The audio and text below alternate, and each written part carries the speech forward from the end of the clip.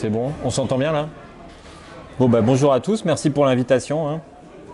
Alors en deux mots, euh, je m'appelle Raphaël. Euh, je fais pas mal de choses. Euh, Aujourd'hui, j'occupe une chaire de- de- d'enseignement et de recherche à l'école polytechnique qui porte sur les liens entre les sciences et les jeux vidéo. Toutes les sciences, hein, y compris les sciences humaines et sociales et les jeux vidéo, qui est financée par Ubisoft. Ça, c'est un premier pan de mon activité. Si je suis arrivé à ça, c'est parce que je suis chercheur au CNRS euh, dans un labo de l'école polytechnique. Et pendant longtemps, à côté de ça, j'écrivais, j'écris toujours. hein, j'ai publié trois romans, euh, plusieurs une douzaine de nouvelles, euh, quelques autres aventures dont, tout à l'heure vous avez vu passer des images qui ont peut-être piqué votre curiosité.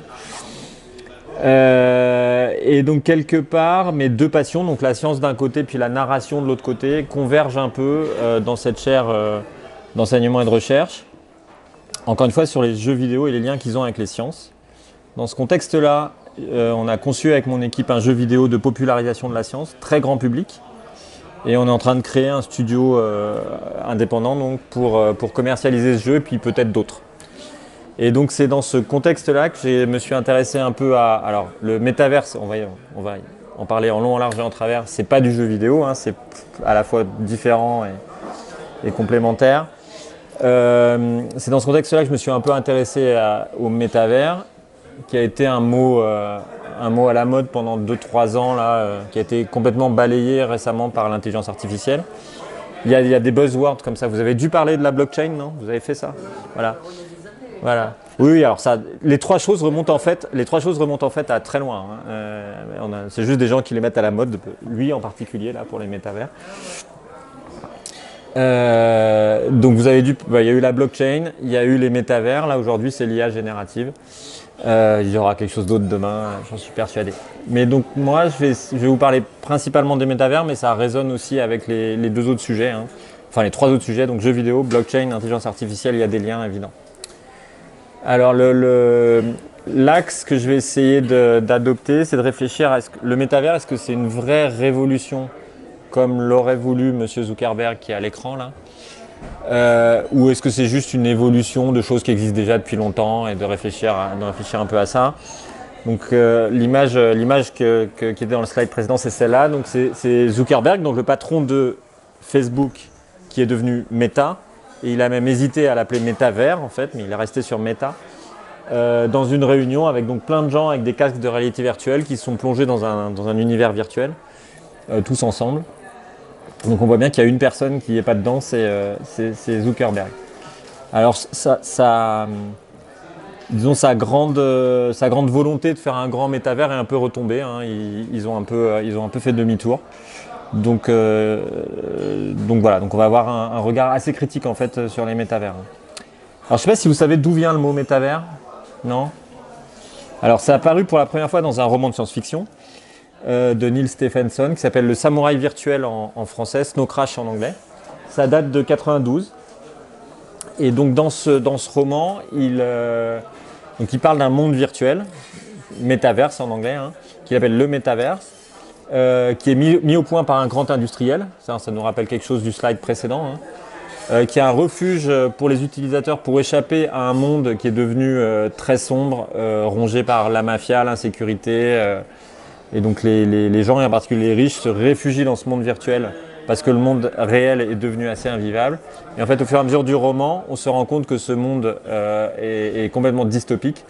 Il y a une, fin euh, mercantile à, l'univers, c'est que le grand industriel, en fait, il analyse et il contrôle, enfin, il analyse d'abord les esprits des gens qui sont dans son métavers euh, pour les contrôler. Donc c'est un peu perturbant presque que Zuckerberg ait choisi ce mot-là pour son métavers, pour, son entreprise en fait. Mais, l'origine, elle vient vraiment de la science-fiction en 92. Et euh, l'origine du mot métavers, elle est clairement dans ce roman-là. L'origine du concept de monde virtuel, on le retrouve dans plein plein de, romans de science-fiction. Euh, je vous donne une anecdote. Moi, dans mes trois romans de science-fiction, il y a un espèce de métavers aussi qui est réservé à des intelligences artificielles. Et l'idée initiale de, ce concept-là, il m'est venu en 95, donc on est vraiment tout près de, de, Samouraï virtuel.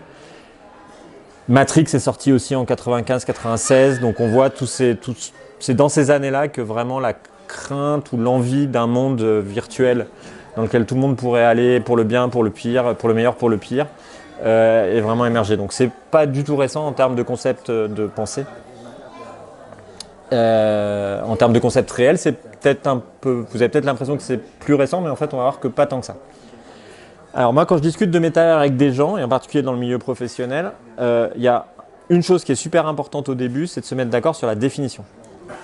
C'est qu'il y a plein de gens pensent des choses différentes. Quand ils pensent métavers, ils pensent à des choses différentes.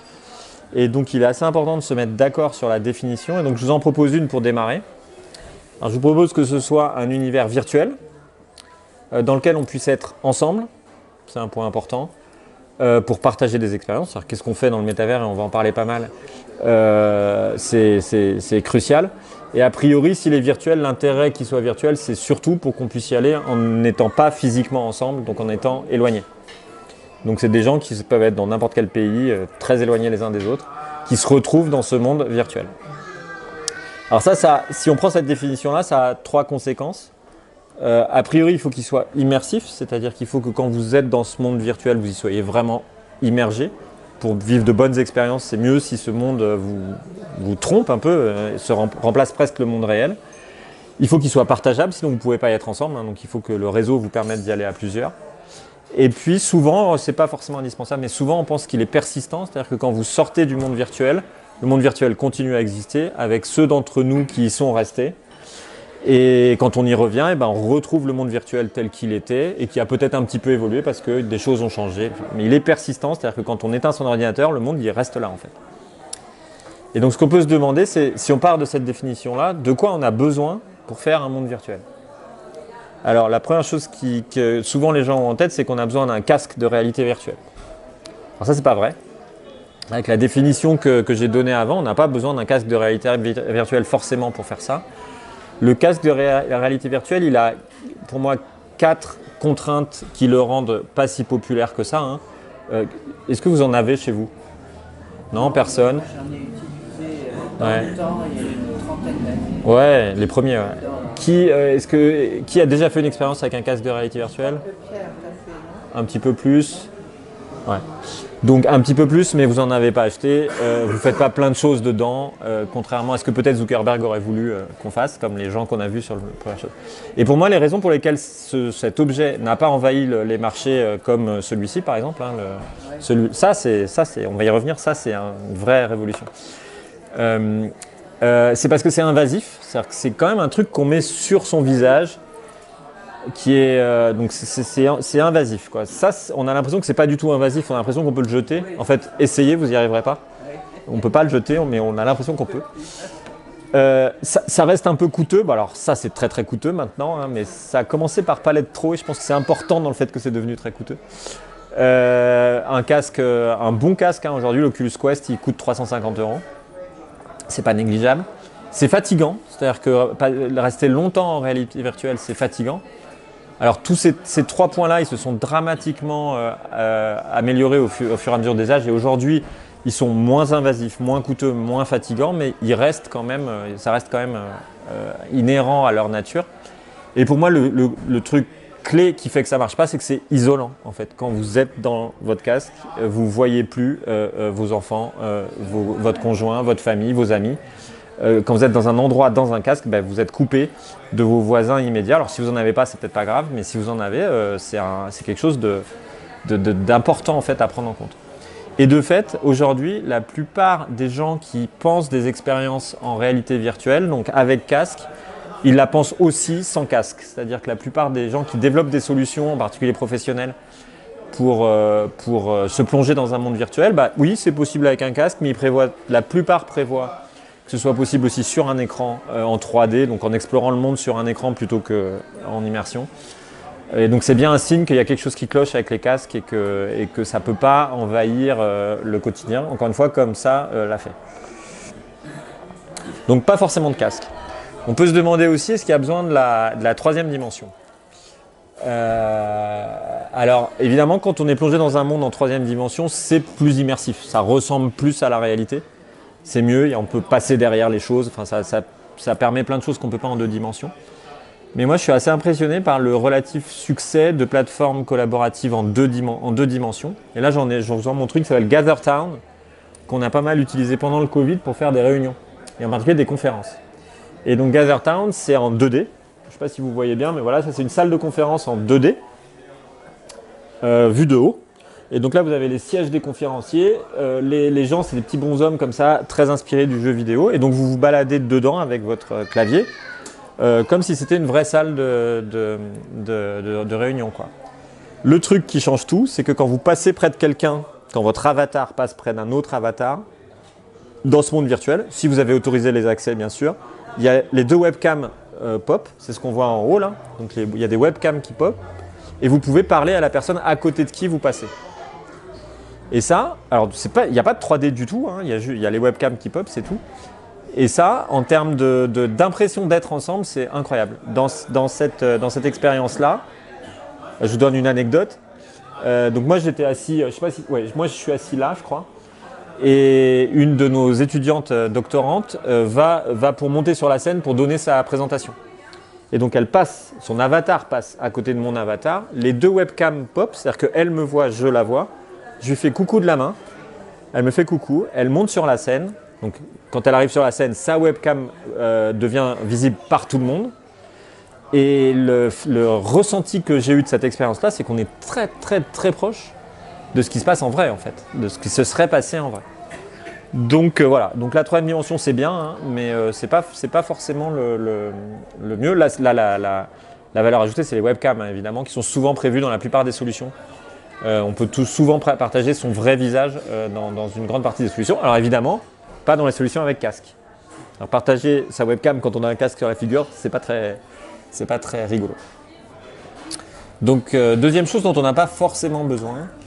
troisième chose, alors je ne sais pas si vous êtes familiarisé avec ça, oui j'ai l'impression, avec les crypto-monnaies et les NFT, il y a plein de gens qui pensent qu'un métavers, il y a forcément des crypto-monnaies et des NFT à l'intérieur.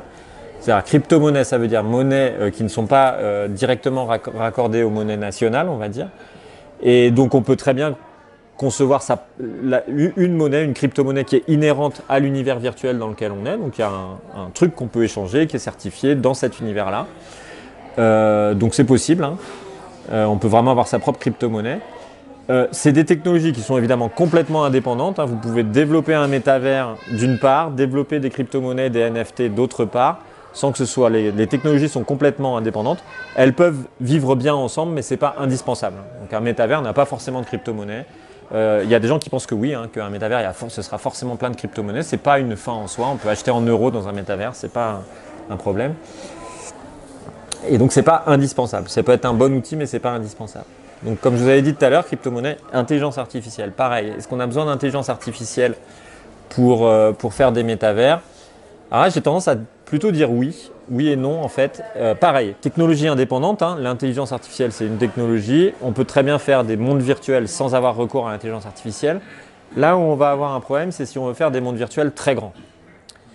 Et donc potentiellement pour meubler des mondes artificiels très grands, on aura sans doute besoin, donc c'est un peu le rêve du, métavers global, hein, on aura sans doute besoin euh, que ce soit des intelligences artificielles qui construisent une partie de l'univers. Et donc bah, aujourd'hui, hein, l'IA générative, elle permet de générer euh, des dialogues. Vous avez sans doute déjà discuté avec ChatGPT, des personnages, des histoires, des images, euh, énormément de choses. Et donc pour euh, petit exercice, la première fois que j'ai donné un séminaire un peu dans ce, dans goût-là, j'étais dans un train et je me suis dit, j'ai besoin d'une image pour, pour illustrer mon concept de métavers. Et donc j'ai envoyé un texto à un ami à moi photographe euh, je lui ai dit, tu peux me faire vite fait, avec une intelligence artificielle, une image qui illustre euh, ce qu'on pourrait euh, construire rapidement pour un monde virtuel, machin. Et dix minutes plus tard, il m'a envoyé cette photo-là. Je ne sais pas si vous allez bien la voir. Donc c'est extrêmement riche. Hein. c'est extrêmement riche. Vous voyez, il y a toute une ville ici. On est dans une tour d'observation. Il y a du mobilier, il y a de, l'invention, quoi. Il y a des paysages. et 10 minutes. Alors 10 minutes par quelqu'un qui sait bien utiliser l'intelligence artificielle. Hein. Euh, mais ça va très très vite. Donc euh, si j'avais dû avoir recours à un artiste pour concevoir une chose comme ça, j'en avais pour évidemment beaucoup plus de temps. Donc c'est ce qui me donne vraiment euh, assez, c'est assez clair que l'IA va être un boost important pour faire des gros métavers. Encore une fois, si on fait un petit métavers, on n'a pas besoin d'IA. Hein, mais, si on veut faire du contenu que les gens dans l'univers virtuel puissent aller explorer des endroits de plus en plus variés, tout ça. L'intelligence artificielle va être importante. Dans la foulée, il n'a pas résisté, il m'en a fait une deuxième. Voilà, pareil, 5 minutes, très très différente. euh, une ambiance complètement différente, beaucoup plus fantasmagorique. euh. et je pense que pareil, enfin, si on avait demandé à un artiste de faire ça, on en avait pour un peu plus de temps que 5 minutes. Quoi. Mais il s'appelle sur des illustrations existantes. Non. Alors, euh, on- donc, la façon dont marche l'IA générative, c'est qu'elle digère tout ce qui existe. Donc, l'image en elle-même ne préexiste pas, mais il y a un corpus dont, s'inspire l'IA générative qui existe, et donc elle repose sur énormément de choses qui existent. Donc, oui, ça, existe- ça préexiste, mais ça n'existe pas. Quoi. On peut dire quelque chose comme ça. Donc, pour moi, l'IA, euh, encore une fois, pour des gros métavers, indispensable. Et puis la dernière chose, c'est est-ce que faut- est-ce qu'il faut que le métavers soit durable? Et je pense qu'aujourd'hui, on doit tous se poser ce genre de questions euh, importantes. Et donc, il y a un coût écologique à évaluer euh, pour n'importe quel métavers qu'on va, concevoir. Donc, il y a le coût des casques, hein, pour revenir au point précédent. c'est-à-dire Quel est le coût écologique de produire des. Alors, si on voulait que tout soit dans des casques, donc potentiellement à la fin des milliards de casques, comme il y a des milliards de ça aujourd'hui, euh, donc c'est un coût écologique non négligeable. Il y a le coût des serveurs, c'est-à-dire qu'il faut, euh, faut gérer toutes ces données-là. Et en particulier, si on met des crypto-monnaies et des NFT qu'il faut identifier sur un tas d'ordinateurs à travers le monde, si on met de l'IA qui doit générer euh, un tas d'images et tout ça, le coût serveur va être assez élevé. Ça, c'est le, coût. Et il y, a un gain évident, hein. c'est que certains de ces métavers vont peut-être nous faire moins voyager, moins prendre l'avion. Et c'est vrai dans le milieu professionnel. hein. On a vu, euh, on a été forcé de l'expérimenter avec le Covid, mais il y a des tas de réunions qu'on faisait euh, internationales, qu'on faisait, euh, qu'on fait encore, hein, mais qu'on faisait euh, en voyageant, en prenant des tas d'avions, qu'on peut en fait très bien faire dans des espaces virtuels bien aménagés. Et donc voilà, il y a un gain, il y a un gain à ça. Et puis il y a un gain réseau. Ça, c'est une chose que les gens en général n'ont pas trop conscience, mais donc si vous vous baladez dans un métavers avec votre avatar, avec un joli décor qui est autour de vous, on a l'impression que ça a un coût réseau très important. Et en fait, non. Euh, Enfin, ça, dé- ça dépend un peu, hein, mais en fait, non.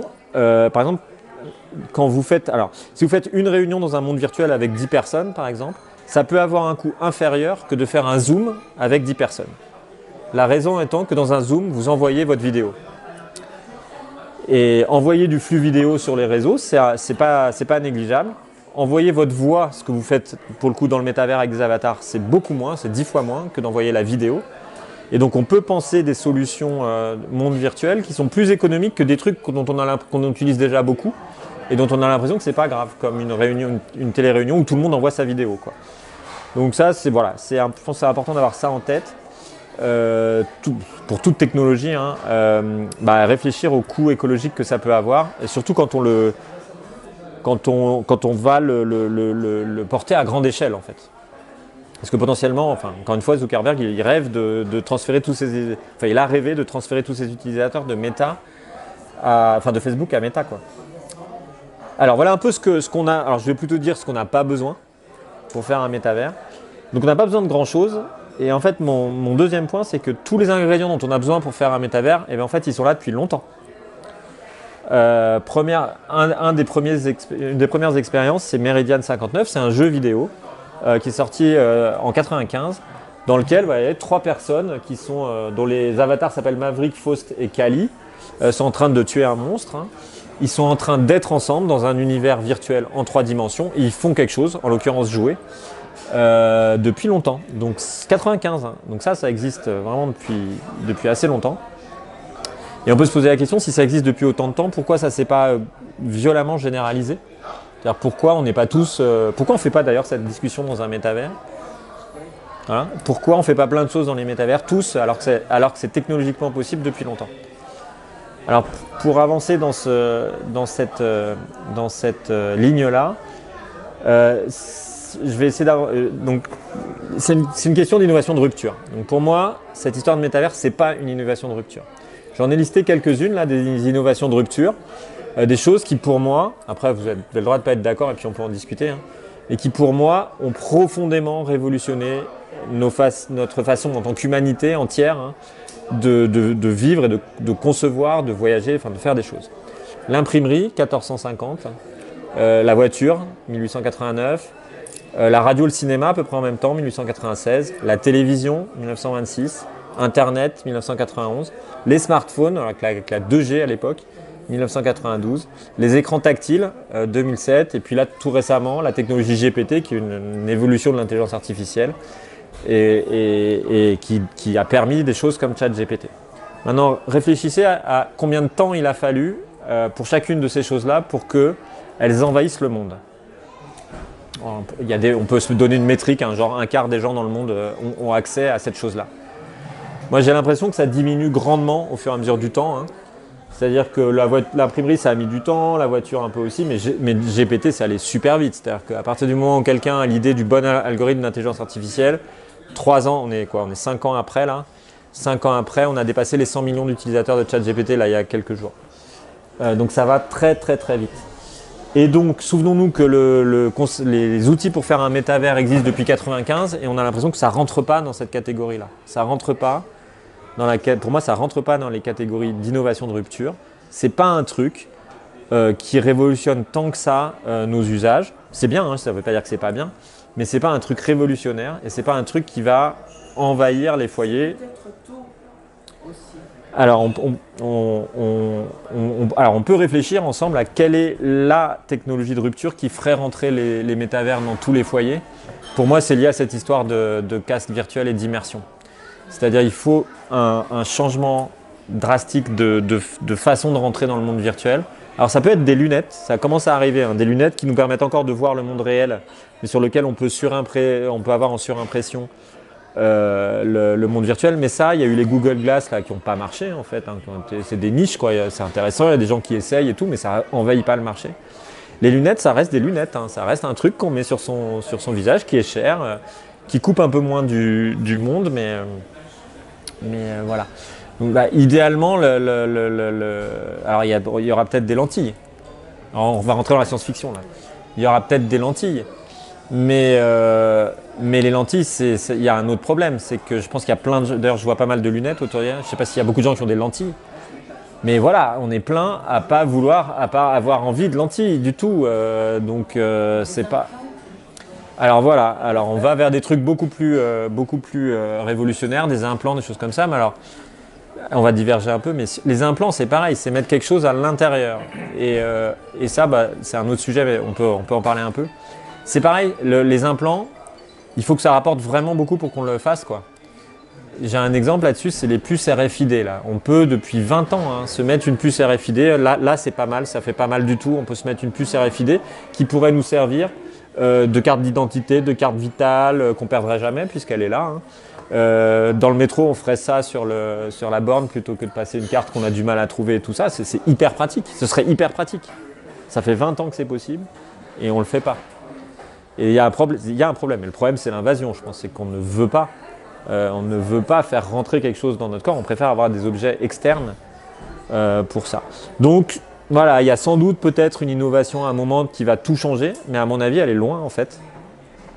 Euh, je pense qu'elle est loin. Je peux me tromper. hein, euh, avec plaisir, d'ailleurs. Je, suis très content de me tromper sur quelque chose comme ça. Et moi, j'ai l'impression que les mondes virtuels, c'est bien, hein, mais ça ne va pas euh, tout envahir. Alors, les effets générationnels, oui, mais alors moi j'ai un jeune enfant. hein. Il a accès à ça. Il a déjà testé casque de réalité virtuelle. Il préfère jouer sur un PC, quoi. Et, oui, il a réclamé le casque un petit peu au début, mais c'est pas. ça, ça, continue à super bien marcher toutes les générations. Mais oui, oui, il y a, alors, y a forcément des choses générationnelles aussi, hein, c'est sûr. Mais euh, souvent on dit qu'il faut euh, que la génération qui soit née avec euh, euh, devienne consommatrice pour, adopter les choses, mais c'est pas vrai pour ça. c'est aller plus vite. C'est pas vrai pour ChatGPT, euh, donc je sais pas. Je pense, oui, mais je pense que c'est mineur comme, un- impact. Et donc voilà, il n'y a toujours pas de, métavers global. Il y a eu une belle tentative avec Second Life, hein, mais qui remonte à 2003. Et pareil, qui a, bien marché, mais qui n'a pas envahi, euh, envahi la scène. Et ce qu'on fait aujourd'hui n'est pas fondamentalement c'est mieux, hein, mais c'est pas fondamentalement différent de ce qu'on faisait avec euh, Second Life. Alors pourquoi tout ça? Alors on peut se poser la question est-ce qu'il y, a- un vrai besoin de métavers global, comme certains ont essayé de nous le faire croire pour nous le vendre, je pense? Euh, Est-ce qu'il ne faut pas plutôt se concentrer sur des besoins spécifiques? Et, moi, c'est mon approche, c'est ça que je fais. C'est-à-dire quels sont les endroits où l'existence d'un métavers va, être vraiment, nous apporter quelque chose. Quoi. Euh, et donc, une fois qu'on est parti sur les besoins spécifiques, est-ce qu'il ne faut pas arrêter de penser à un métavers global dans lequel on ferait tout et plutôt se focaliser sur des métavers dédiés? Et donc, moi, je mets toujours métavers au pluriel à cause de ça. Et puis, la question, c'est pour y faire quoi? Et donc, on va, on va, c'est la dernière, partie de mon, exposé, c'est ça en fait. Qu'est-ce qu'on peut faire dans les métavers? Alors, premier truc, c'est euh, se divertir et jouer. Euh, ça, c'est une image qui sort de League of Legends, qui est un jeu massivement multiplayer dans lequel les, jeunes jouent beaucoup. Euh, il y a 150 millions de joueurs dans, le- dans League of Leg- Legends aujourd'hui. Donc c'est pas mal. Hein. C'est pas des milliards, mais c'est quand même pas mal. hein. Et donc j'en ai listé quelques autres là, des, choses qui ressemblent un peu à des métavers, jusqu'à Fortnite dont vous avez forcément entendu parler, qui est pas loin d'être un métavers. hein. Les gens ils se retrouvent, ils font des choses euh, en commun. Alors les choses sont pas très variées, mais quand même.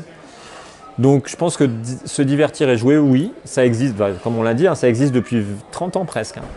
Euh, Il y a des gens qui se voient dans des mondes virtuels pour jouer depuis 30 ans et de plus en plus en fait.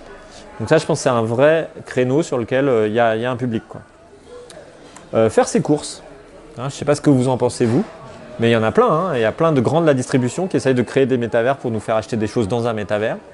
Moi j'ai du mal avec ce concept-là. Je ne sais pas quel produit j'aurais envie d'aller acheter dans un monde virtuel plutôt que bah, dans une boutique physique si je peux bien sûr, mais même sur internet quoi, c'est-à-dire avec mon smartphone ou sur un ordinateur, est-ce que quelle est la quantité d'informations supplémentaires que je vais trouver dans le métavers qui va faire que je vais y aller parce que je vais être plus confiant dans le produit que j'achète ou des choses comme ça? Il y a sans doute des niches.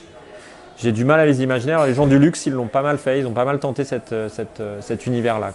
C'est-à-dire voir une robe sur un mannequin qui bouge, mais en vrai, on n'a pas besoin du métavers pour ça. On prend une vidéo d'un mannequin et c'est pareil. Euh, Il y a sans doute des, niches, mais elles me paraissent assez faibles. Donc faire ses courses, j'y crois pas trop trop, même s'il y a plein de gens qui sont engouffrés là-dedans. Euh, rencontrer des gens. Rencontrer des gens, c'est pas mal, on peut y réfléchir. Euh, Est-ce que vous avez envie de voir votre famille et vos amis, les gens que vous connaissez déjà en fait, dont vous êtes proches, dans un monde virtuel? Je suis pas sûr. À moins que vous y fassiez autre chose, donc c'est pas vraiment rencontrer des gens. Mais plutôt qu'un bon vieux coup de fil ou, euh, même un Zoom euh, ou des mails ou n'importe, enfin tout, tout ce qu'on a à notre disposition pour, pour se contacter les uns les autres. Je suis pas sûr qu'il y ait une grosse valeur ajoutée, encore une fois, sauf si on y fait autre chose en fait. Euh, ses collègues, peut-être un peu plus, parce que les collègues, on n'a peut-être pas forcément envie de les appeler. et puis un employeur peut instaurer un mode de communication qui va dans ce sens-là, c'est pas mal. Euh, des inconnus, avec tout ce qui est appli de rencontre et des choses comme ça, il y a peut-être des gens qui auraient envie de rencontrer des gens de façon assez anonyme dans un métavers. Il y a peut-être des créneaux euh, pour ça. Euh, ceci étant dit, on a déjà des tonnes de, médias sociaux. qui, donc il faut toujours penser, voilà, si on pense à un, un métavers social, il faut se demander qu'est-ce que ça va apporter en plus que tous ces trucs-là qui existent. Je sais pas si vous reconnaissez tous les, moi, moi non, hein. tous les, tous les icônes, mais voilà, il y en a plein quoi. Et j'en ai pas mis euh, d'appli de rencontre en plus. Donc rencontrer des gens, euh, peut-être, mais ça me paraît pas euh, évident, évident. À moins qu'on inv- on invente un vrai nouveau réseau social avec un fonctionnement différent. Alors je vais tenter une expérience là, elle marche toujours. Qui a vu le film Eighth Wonderland? Eighth Wonderland. Le nom est là. C'est un film français qui s'appelle Eighth Wonderland. Je ne rencontre jamais personne qui a vu ce film, c'est génial. C'est un excellent film. Euh, c'est un excellent film dans lequel justement il y a un nouveau réseau social. C'est une, image qui est tirée du film là, où en fait, dans, le- monde virtuel, il y a en fait vous envoyez euh, votre webcam et donc tout ce qu'on voit derrière, c'est des milliers de petites webcams qui sont, euh, qui sont, là, hein, dans une espèce de grande agora. Et, ceux et les gens qui parlent ou qui sont autorisés à parler, leur webcam arrive sur le devant de la scène. Par exemple, ces deux personnes-là qui parlent devant euh, tous les autres. Alors ça peut se déployer en conférences, discussions, euh, table ronde, euh, ce qu'on veut. Et le propos du film, euh, c'est des gens qui décident de ne plus appartenir à un vrai pays. Ils décident, moi, j'appartiens plus à la France. Il y, a- un Français, il y a une Israélienne, enfin, il y a plein de gens de plein de pays différents dans le, film. Et, ils décrètent qu'ils appartiennent à une nation numérique et ils dotent cette nation numérique d'un outil de communication qui est celui-là. Euh, dont je me suis vachement inspiré dans un de mes romans. J'ai quasiment copié-collé en fait ce truc-là parce que je trouvais ça génial. Bon, c'est dans le background dans le roman, mais je trouve ça formidable. Et donc, il, il il se dote d'un monde virtuel euh, dédié à euh, animer une démocratie numérique en fait. Avec l'idée qu'ils sortent de la démocra- des démocraties, d'ailleurs ils vivent pas tous en démocratie, il y a même un truc, il y en a même un qui vit dans une dicta- dictature et il y a un enjeu très très fort par rapport à cette dictature. Euh, donc ils décident de sortir de leur nation euh, pour s'en créer une et, inventer une, forme de, démocratie numérique.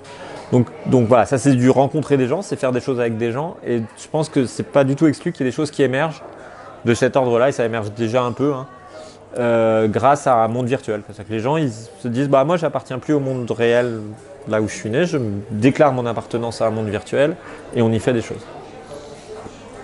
Ça, ça fait rêver. hein. Enfin non, ça fait. ou ça- je sais pas si ça vous fait rêver. Enfin, ça fait à la fois peur et rêver, je pense. Euh, donc, autre, euh, autre usage qui, lui, marche déjà pas mal, c'est se former, en fait. Il y a, pareil, le Covid a accéléré ces choses-là. Euh, donc, dans les entreprises, il y a pas mal recours à des mondes virtuels, et en particulier même avec des casques, euh, parce qu'ils ont un peu de sous. Euh, pour, au moins deux usages, il y a l'accueil des nouveaux employés. C'est-à-dire euh, dans, des multinationales, souvent on emmène tous les nouveaux employés dans un endroit. Alors quand la multinationale est très large, ça fait pas mal de billets d'avion, pas mal de coûts pour mettre tout le monde au même endroit et puis faire du team building au départ pour accueillir les nouveaux. En général, c'est plutôt les cadres. hein. Bah, on peut faire ça dans un monde virtuel. Ça coûte moins cher, c'est facile. Et donc ça s'est fait pas mal hein, euh, et ça continue à se faire. Et puis l'autre usage qui est pour le coup, je pense, lui, très employé et très logique, c'est pour entraîner des, gens dans des environnements spécifiques. Euh, plateforme offshore, c'est ce qui est un peu là. Euh, centrale nucléaire, c'est des endroits dans lesquels s'entraîner euh, à travailler, euh, bah, c'est pas simple du tout. Euh, il faut y aller, euh, ça coûte cher. Euh, Il y a peut-être moyen de commencer à apprendre euh, son métier euh, quand on travaille sur ces environnements-là, dans des environnements virtuels, ce qu'on appelle souvent des jumeaux numériques. Et, ça se fait. Ça, ça se fait pas mal. Et là, je pense qu'il y a un vrai usage très fort du, métavers. Alors, pourquoi ça marche? Dans les exemples que je vous ai donnés, le public, il est captif. Il n'a pas le choix, en fait. hein. C'est son employeur qui lui dit Tu vas t'entraîner dans le métavers. Donc, ça marche au moins grâce à ça. C'est un besoin. Donc, ça, c'est un usage qui est, qui est- qui est vachement utile. Donc, se former. euh, quand on dit se former, on n'est pas loin de apprendre. Et donc, est-ce que apprendre des choses dans un, dans un, dans un monde virtuel, ça, ça vous paraît, ça nous paraît bien ou pas bien? Euh, Donc moi, je, travaille, je commence à travailler un peu sur ces aspects-là concrètement. Alors, il y a déjà une question importante, c'est la présence ou non d'un professeur, d'un vrai professeur. Euh, moi, j'ai tendance à penser que sans vrai professeur, c'est quand même difficile d'apprendre. Alors, il y a des gens qui aiment bien hein, apprendre euh, sans professeur, qui sont très à l'aise avec ça, mais je ne pense pas que ce soit la majorité des gens. Et donc, euh, un monde virtuel, oui, mais sans doute, il faut la présence d'un vrai professeur dans, le, dans le monde virtuel en question. Et ce qu'on a là, les images qu'on a, c'est une expérience qu'on a fait au laboratoire. Ça, c'est un collègue à moi, là, qui est donc plongé dans un monde virtuel avec des gens qui, alors, ils ont tous des casques, là, mais ils sont dans la même pièce. Ils pourraient ne pas être dans la même pièce, en vrai.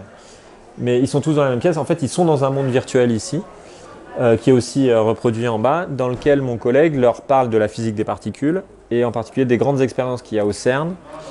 Et, euh, là, moi, j'ai vu, hein, et j'ai même été surpris d'une vraie valeur ajoutée du métavers sur l'histoire du changement d'échelle. Donc, nos machines au CERN, elles font 25 mètres de haut, et c'est fait pour voir l'infiniment petit. Donc, on a un truc très. Et faire comprendre ça quand on est dans une classe, c'est possible. Quand on le montre euh, en réalité virtuelle ou quand les étudiants se retrouvent au pied de la machine de 25 mètres de haut, avec leur casque, hein, au pied de la machine de 25 mètres de haut, qui lèvent les yeux, et qu'on leur montre que c'est ça qui permet d'aller dans l'infiniment petit, bah, ça marche en fait. Ça marche vraiment bien. Beaucoup plus facile avec cette représentation 3D euh, de, faire passer des choses que dans une classe où on a beau montrer des photos, euh, dessiner des trucs au tableau, ça marche moins bien quoi.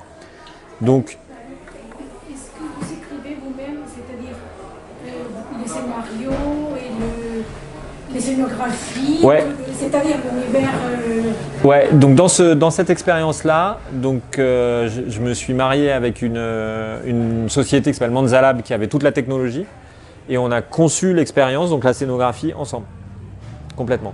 Moi, avec, euh, j'arrivais avec ce que j'ai envie de faire passer Et puis eux, ils venaient avec leur expérience concrète qui, est, qui est très liée au fait qu'il faut de l'expérience. Par exemple, à un moment, moi je leur avais, je leur avais dit bah, tu attrapes le, le- visiteur qui est en pied de la machine et on le fait et on le monte donc au pied de la machine et puis on le monte là sur une tranche de la machine.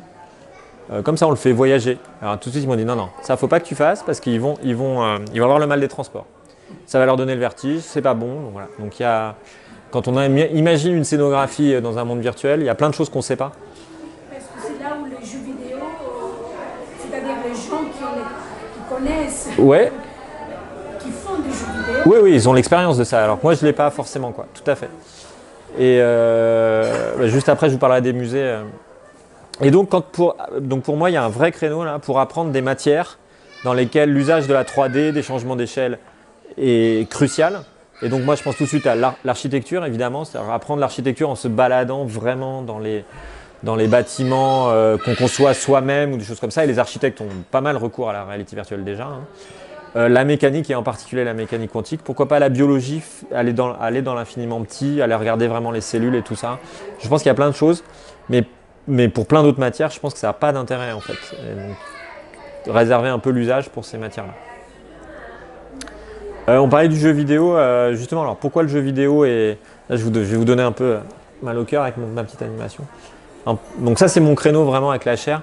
Le jeu vidéo, pour moi, c'est un excellent média de vulgarisation scientifique pour quatre choses. Euh, D'abord parce que les mécaniques ludiques que vous pouvez mettre dans votre jeu, vous pouvez les calquer sur des mécaniques scientifiques. Donc, vous prenez une science, vous re- regardez les mécaniques euh, des sciences et vous en faites des mécaniques ludiques. Euh, Il y a l'animation. Donc, c'est un média dans lequel on peut représenter ce qu'on veut et de façon animée. Donc, par exemple, si vous voulez représenter la mécanique quantique, bah, vous pouvez dessiner ça. Impeccable. Il y a l'audience. hein. Aujourd'hui, le jeu vidéo, c'est le, média le plus lucratif. C'est 200 milliards de, dollars par an. C'est plus que Netflix, le cinéma, le livre. C'est plus que tous les autres médias et même réunis en fait. Donc en fait, les gens consomment du jeu vidéo euh, énormément. Et alors, encore une fois, c'est la, me- la mesure, c'est combien les gens payent pour ça, combien ça rapporte. Donc c'est pas forcément la seule mesure qu'il faut avoir en tête. hein, mais, euh, mais c'est quand même colossal. Et une des grosses raisons, c'est que les gens ils jouent là-dessus en fait. hein. C'est une grosse part du marché, elle est là-dessus, mais pas tout, hein, du tout. Et puis la dernière chose, c'est l'interactivité, c'est-à-dire que quand il y, a des- gens qui disent qu'on apprend. euh, alors par exemple, quand on écoute, on apprend. Quand on voit, on apprend peut-être mieux. Quand on fait, on apprend encore mieux. Il y a la force de l'interactivité. Euh, visiblement, ça, pour plein de gens, ça ancre le savoir très fortement. Et ben, le jeu vidéo, c'est le média euh, interactif par excellence. C'est le média dans lequel vous interagissez avec l'œuvre euh, directement. Donc, euh, cette petite parenthèse faite, visiter, autre, autre cas d'école. Est-ce que aller visiter un musée, c'est quelque chose que vous feriez volontiers dans un métavers? Je vois un oui à ma droite, c'est bien. Alors, euh, on a un projet avec cette même compagnie avec qui j'ai fait euh, la petite expérience éducative avant. On est en train de, commencer un projet là-dessus on va travailler avec les musées sur les usages de ça. Et donc, je me permets de vous en donner quelques-uns là. Alors, pourquoi vous iriez visiter un musée dans le métavers? Alors, La première raison, c'est peut-être parce que vous ne pouvez pas y aller, en vrai. Euh, soit parce qu'il est loin, soit parce que vous êtes en situation de handicap, euh, soit pour tout un tas de raisons. Euh, Il y a plein de musées dans lesquels vous ne pouvez pas aller. La première raison, c'est ça. Après, il faut créer l'envie et que l'expérience soit à la hauteur. Mais c'est euh, la première raison. Si on suit un peu ce fil-là, est-ce que vous iriez dans un musée parce que avec quelqu'un qui ne peut pas y aller? C'est-à-dire, est-ce que ça vous intéresserait d'emmener votre grand-mère qui est aux États-Unis visiter une exposition qui est à Paris alors qu'elle ne pourra pas y aller quoi? Ça, c'est un cas d'usage qui me paraît pas mal aussi. Euh, troisième point, pour, euh, et pour moi c'est clé en fait, c'est encore mieux si vous y vivez une expérience que vous ne pouvez pas vivre dans le vrai musée. Parce que sinon, vous allez avoir cette espèce de frustration que vous auriez pu aller dans le vrai musée, que ça aurait été mieux. Quoi. Et moi, on suit au moins deux, euh, enfin, on suit avec mon équipe un, un- un point clé, c'est les, les musées des sciences en fait, comme le CNAM, là, juste à côté. Euh, nous, on en a un à l'école polytechnique dans lequel on, fait des on va faire des expériences là-dessus. Dans les musées scientifiques, vous voyez plein d'objets euh, qui ont servi à faire des expériences, qui en général sont censés bouger vous ne les voyez pas bouger. Euh, tout un tas de choses comme ça qui ont souvent servi à des grands scientifiques pour faire des grandes découvertes Et donc, typiquement, manipuler ces objets-là dans un monde virtuel, je pense qu'il y a une vraie valeur ajoutée. Alors, en plus, cette expérience virtuelle, vous pouvez le faire à côté du vrai objet. hein. Vous pouvez mettre un casque à côté du vrai objet, ça peut être des extensions du musée réel. Mais là, pour moi, il y a une grosse valeur ajoutée pour ces objets-là par rapport à une peinture qu'on aura quand même le rendu de la peinture dans le monde virtuel difficile. Enfin, peut-être qu'on, peut-être que c'est, enfin, bien, hein, mais je pense y a une- on a l'impression que c'est moins bien en fait euh, que d'aller voir la Joconde en vrai, quoi. Sculpture, pareil, difficile. Alors, sculpture, petit exemple, on a dans notre consortium de, musées avec qui on travaille, le, le Quai Branly, qui sont intéressés parce qu'ils ont des, cul- des sculptures creuses. Donc là, pour le coup, vous ne pouvez pas voir l'intérieur des sculptures. Euh, Dans un monde virtuel, on pourrait. Euh, donc voilà, donc ça dépend un peu des objets qu'on veut montrer dans le, musée, Euh, mais il y a potentiellement des objets comme les objets scientifiques pour lesquels il y a une vraie valeur ajoutée. Et puis il y a une société qui s'appelle Mira qui a, fait, qui a digitalisé entièrement la Sainte-Chapelle. Alors pareil, vous vous dites pourquoi aller voir la Sainte-Chapelle dans un monde virtuel alors qu'on peut aller la voir en vrai? Et je me suis fait piéger par ce truc-là. Une raison, c'est voir les vitraux. C'est que les vitraux, ils sont loin dans la Sainte-Chapelle en vrai. Dans le monde virtuel, et c'est très très bien fait, très très beau. Euh, vous pouvez aller vous promener, vous élever et aller vous promener, regarder un détail d'un vitrail. Alors évidemment, c'est pas le vrai vitrail, c'est un scan du vrai vitrail qui est retravaillé et tout ça. Mais il y a une vraie valeur ajoutée parce que vous pouvez aller voir des détails que vous ne pouvez pas aller voir dans le vrai musée. Donc c'est tous ces usages-là, je pense, qui sont. euh, Moi, J'ai eu l'expérience immersive d'aller voir Van Gogh euh, à, l'atelier des à l'atelier Lumières. des Lumières. Je vais y venir à l'atelier des Lumières, ouais. C'est certainement un peu le même genre d'expérience Ouais. qu'on vit. Quand on voit des détails, euh, Ouais, c'est- assez chouette. complètement. Alors- Bah, Moi, il y a une chose dont j'ai toujours rêvé, c'est de pouvoir voir les statues, euh, notamment du Moyen Âge, donc, telles qu'elles étaient, c'est-à-dire compléter les parties qui manquent et avec les couleurs, puisqu'elles est- on nous les présente Ouais. blanches, on dit c'est très beau blanc, mais en fait, à l'époque, elles étaient peintes. ouais, Donc, euh, ouais. Alors ça, euh, Alors ça, on peut l'animer dans un métavers, c'est-à-dire qu'on peut passer de la statue actuelle et remonter jusqu'à la statue euh, réelle. Ça se fait beaucoup en architecture hein, avec les, euh, les, les ruines et euh, de, de faire des reconstitutions des bâtiments tels qu'ils étaient. Mais en vrai, ce que vous dites là, on pourrait le faire dans un vrai musée avec une, une- une reproduction à côté, avec une reproduction à côté, et on le fait pas ou peu. Et donc on peut se demander pourquoi. Ouais. Est-ce que c'est, ouais ouais. Mais c'est intéressant. euh. Parce qu'on voit, euh, quand on voit la statue blanche et on nous dit, euh, regardez, il y a, il y a Il une reste un- petite trace de marron, Ouais. parce que c'est toute marron. Oui, alors qu'on alors qu'on restaure des peintures, euh, qui, qui- oui, on restaure des peintures. euh, c'est pareil, on les quelque part on les trahit aussi quand on les, enfin on a un risque de les de les trahir quand on les restaure. Ah, on les travaille plus quand elles sont blanches. Ouais, ouais, ouais, ouais, France, on a très peur de la restauration. Ouais, ouais. On ne touche pas beaucoup. oui, oui, Non, mais les Ouais, choses ouais. disparues aussi. ouais, tout à fait. Surtout les choses.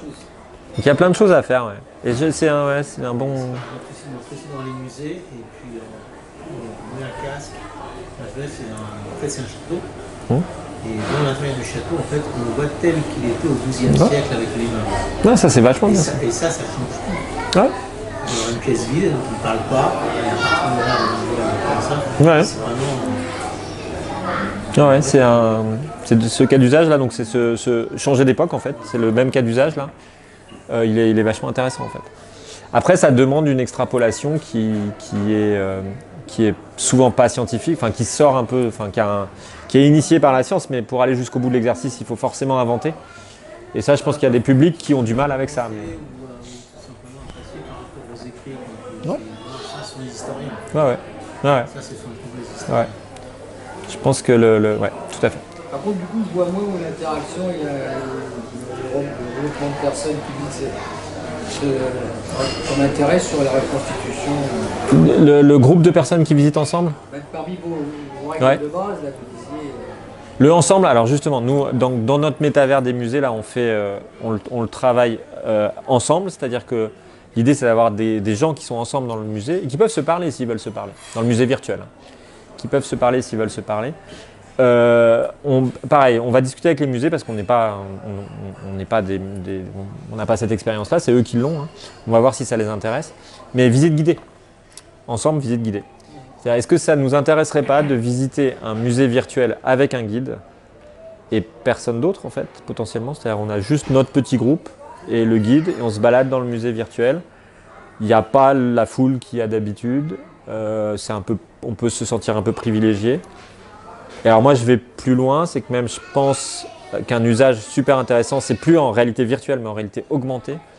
Moi, je pense que c'est encore mieux si le guide il est dans le vrai musée. Donc moi, j'imagine des visites avec euh, des youtubeurs, c'est à la mode. Un youtubeur musée, quoi, qui fait euh, une visite de musée. Donc, il va dans le musée vraiment, il va voir les vraies œuvres, il les commente. Et il a derrière lui sa cohorte virtuelle. Donc, plein de gens qui le suivent euh, virtuellement, en direct, euh, dans sa visite du vrai musée. Mais là, on n'est plus dans un musée virtuel, on est dans un musée réel. Et ça, je, ça, je pense qu'il y a potentiellement une, euh, il y aurait de l'intérêt pour des choses comme ça. Donc pour moi, la présence, c'est la, présence de l'expert en fait, qui, qui change vraiment la donne. Soit aller voir une expérience avec des gens avec qui on n'est pas, avec sa famille, parce qu'il- avec qui on peut pas faire l'expérience en vrai.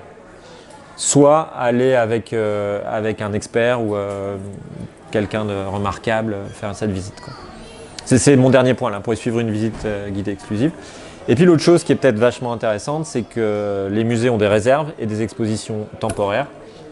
Et on n'a pas accès aux réserves. Et quand l'exposition temporaire est finie, on n'a plus accès à l'exposition temporaire. Et donc leur donner une extension euh, dans, un monde virtuel, c'est peut-être quelque chose d'intéressant. On va voir avec eux si ça les intéresse ou pas.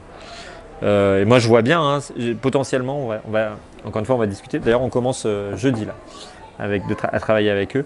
Mais ce qui serait intéressé par rajouter 2 euros dans leur prix de vente d'un ticket réel pour une extension virtuelle de leur musée. Vous allez dans le vrai musée. Vous pouvez payer 2 euros de plus, ça vous donne accès aux réserves dans un monde virtuel. Est-ce que ça peut intéresser dans certains musées ou pas?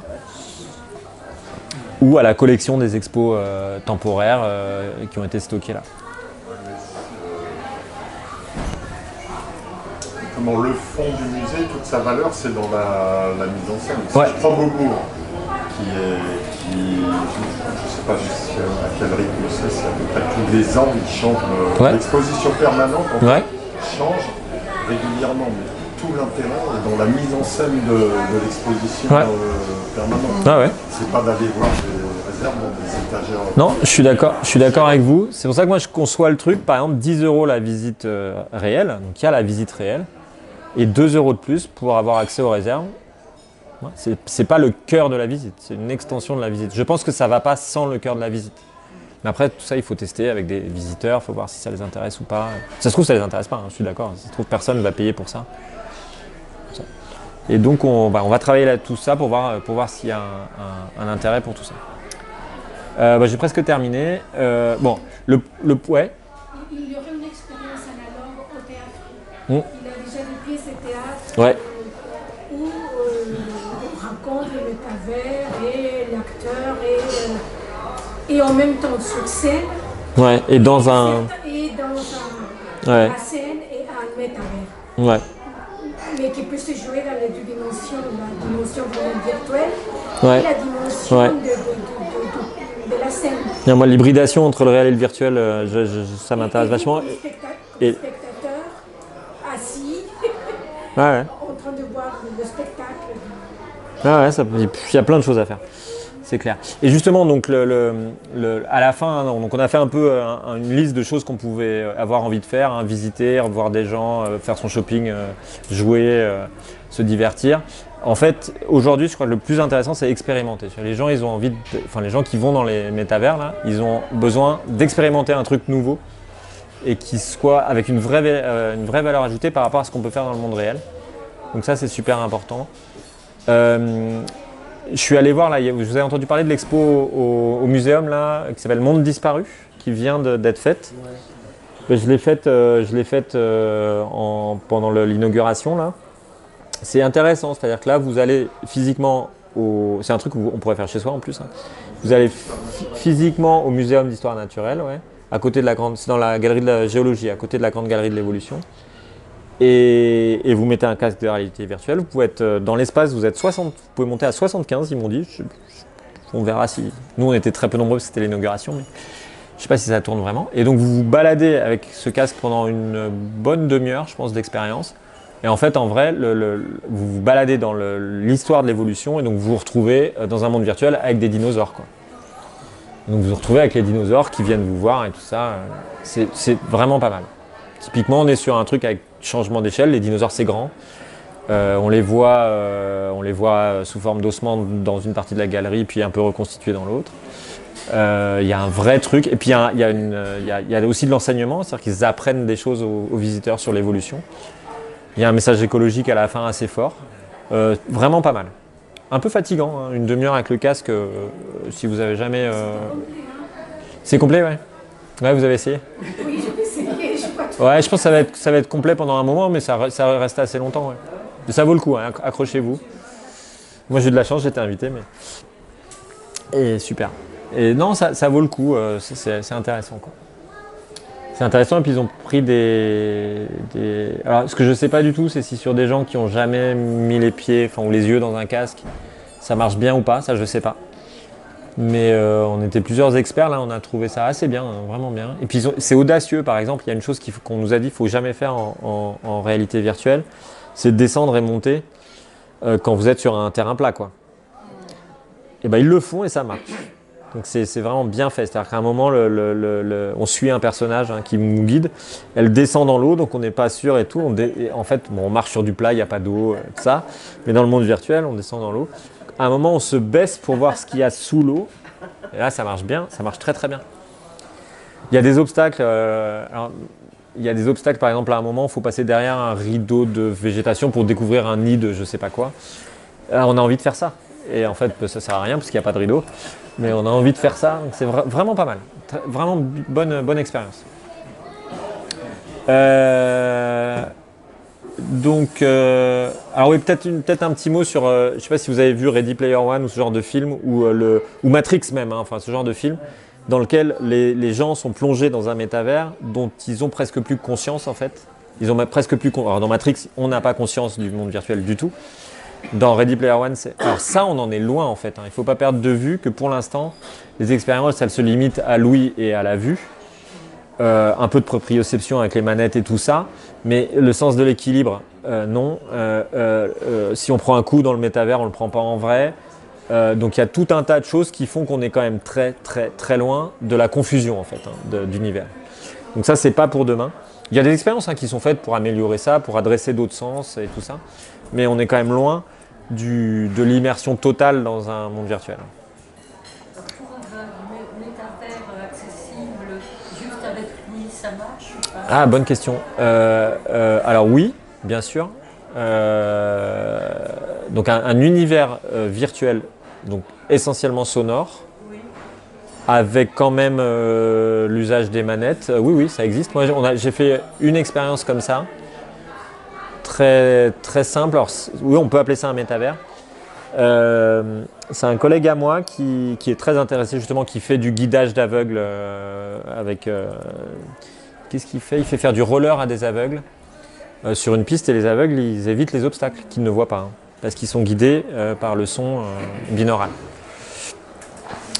Et donc on a fait une expérience dans laquelle, je ne sais pas si vous avez, si vous voyez dans Star Wars le premier épisode, le vrai premier épisode, celui de 1977 là.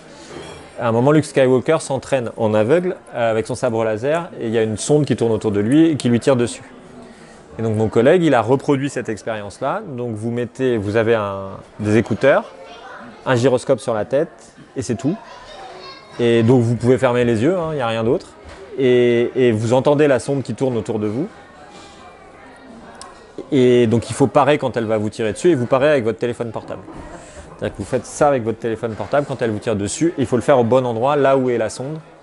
Euh, voilà. Donc c'est rudimentaire, hein, mais voilà, un jeu destiné euh, à tout le monde, y compris les aveugles. Les aveugles sont meilleurs que nous euh, à ce jeu-là, c'est clair. Nous, on est nuls, hein, les voyants, parce qu'on n'a pas l'habitude.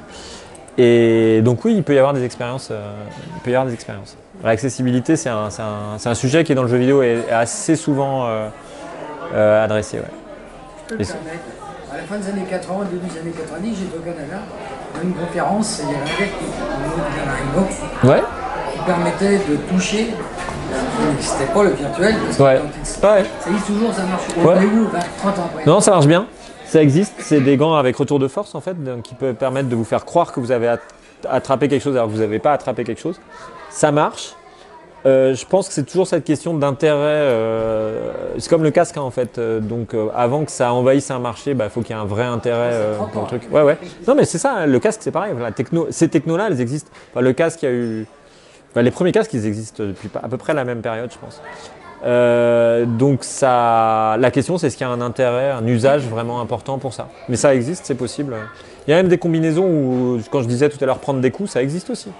C'est-à-dire que des, trucs où vous avez une combinaison, et puis si on vous met un coup virtuel, bah, vous prenez un coup réel. Quoi. Euh, tout ça, ça existe. Évidemment, développer un- une combinaison complète euh, qui permettrait de faire tout ça, avec, euh, il faudrait aussi un, autre exemple, hein, c'est quand on court, on court pas. Euh, Dans, le monde virtuel. Bah, si vous courez dans le monde virtuel, vous voyez pas. enfin, vous pouvez courir, hein, mais euh, vous n'êtes pas là où vous courez. C'est hyper difficile à faire. Et donc, euh, il y a plein de trucs à inventer. Parce que vous êtes suspendu et vous avez l'impression de courir. Et, c'est vos semelles qui vous. Il y a plein de choses. à- donc, inventer une, combinaison qui permette de rendre compte de toutes tout, tout en fait, hein, de toutes les perceptions qu'on a l'équilibre, la proprioception, euh, pourquoi pas euh, l'olfaction, hein, on n'en a pas parlé, mais euh, il y en a d'autres encore. Le goût. Bah, on peut avancer dans ces, dans ces directions-là, c'est hyper cher. Si on veut faire la, combinaison totale, je pense que l'idée de la mettre sur un marché, elle est quasiment pas là. C'est des objets expérimentaux qu'on va pas mettre sur un marché parce que ce sera trop cher. Et, donc, première question, c'est cher. Après, s'il y avait un gros marché, ben, on le ferait. hein.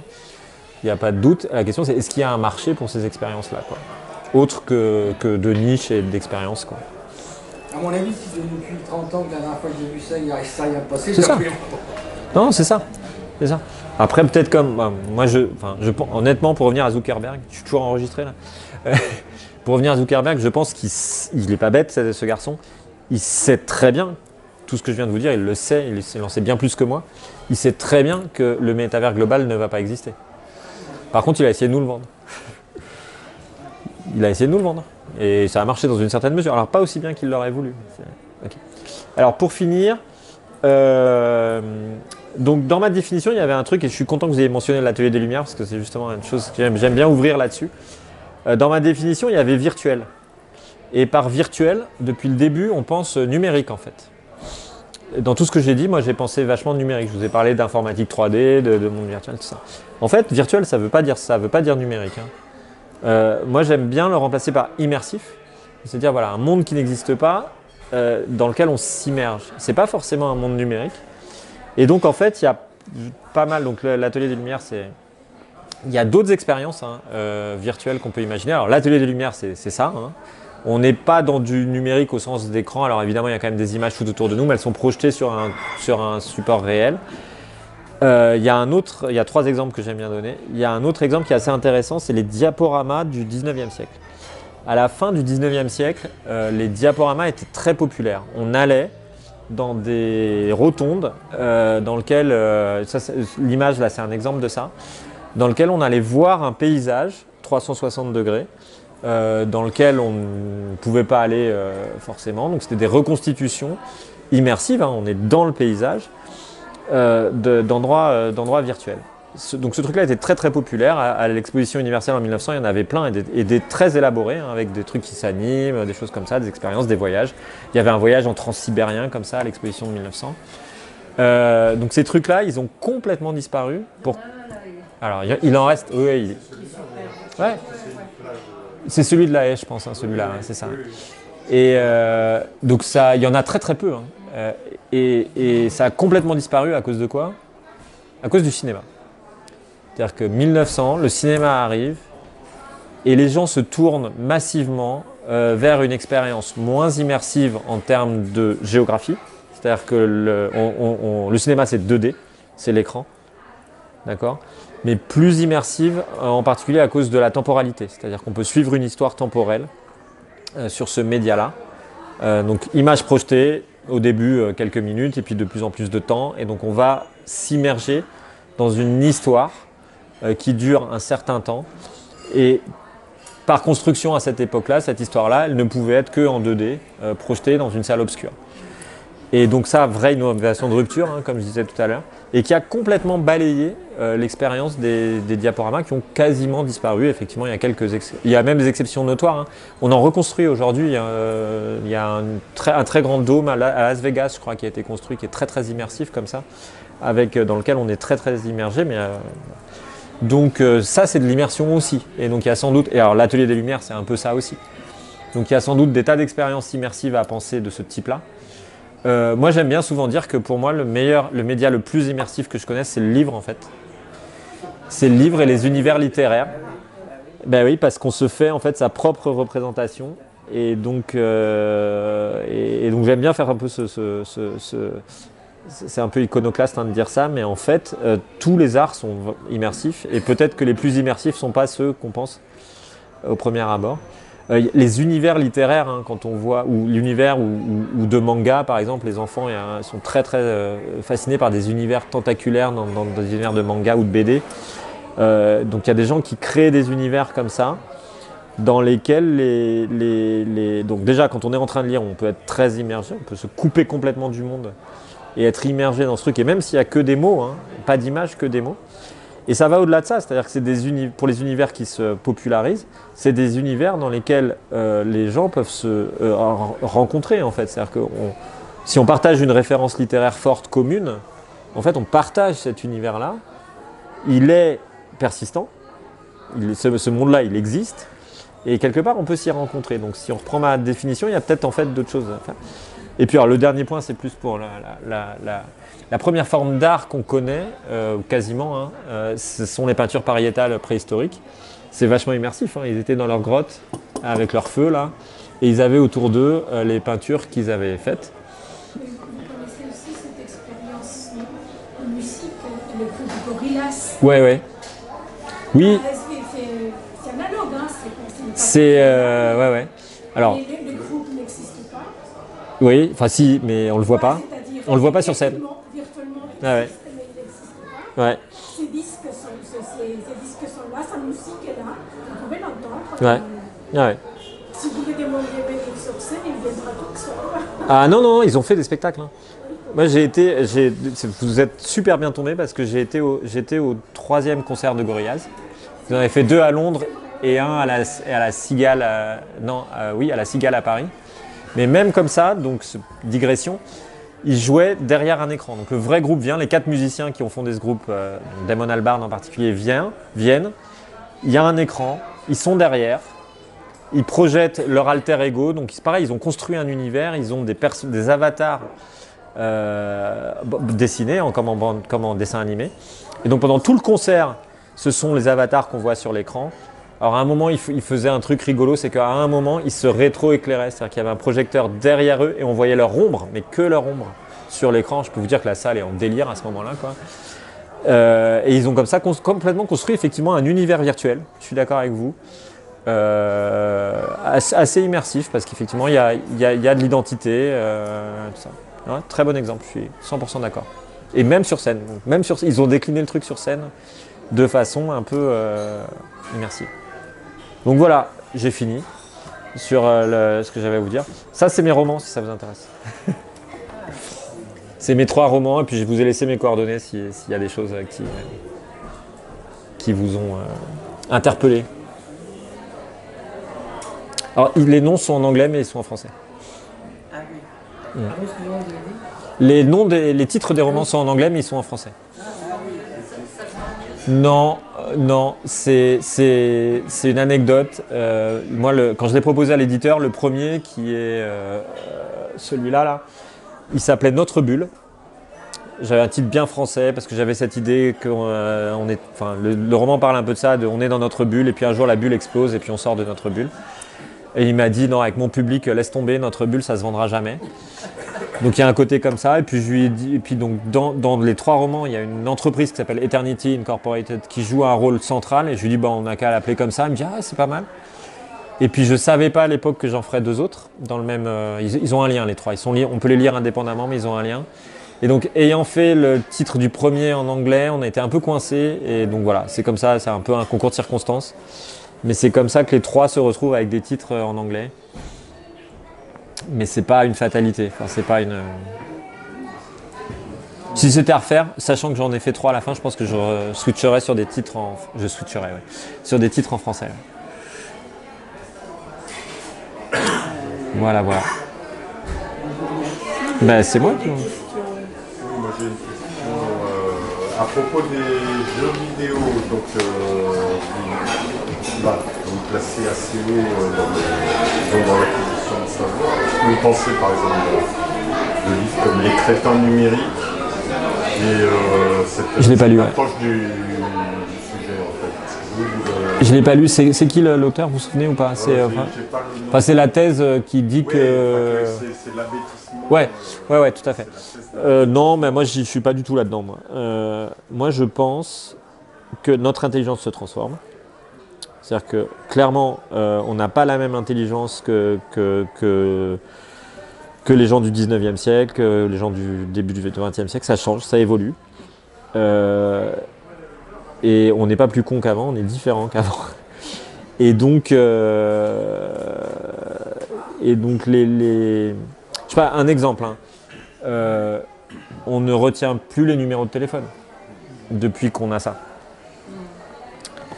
Avant, on avait tendance à retenir les numéros de téléphone, à les apprendre. Quand on les composait vraiment, on, avait besoin de les apprendre, euh, ou au moins de les noter, mais même, c'est le fait de les composer qui fait qu'on les.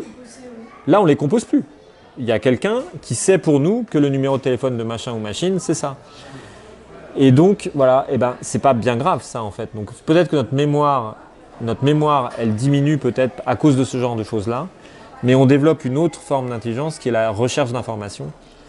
Euh, alors pareil, Wikip- Wikipédia, Wikipédia c'est pareil. Aujourd'hui, on a accès, Wikipédia ou, ou Internet en général, hein, on a accès à une banque de données de savoir énorme, et donc on est peut-être moins obligé de retenir des choses. Euh, par contre, on est obligé d'être agile et critique envers euh, toutes les informations qu'on va chercher là. Donc l'intelligence, elle se transforme. Et donc pour moi, euh, puis je vois les, enfants aujourd'hui, ils développent une autre forme d'intelligence. Alors nous, on, peut la trouver, on l'aime pas parce que c'est pas la nôtre. Est-ce qu'elle est moins bonne ou meilleure que la nôtre? Bah, Je serais bien, malin et celui qui sait répondre à cette question-là.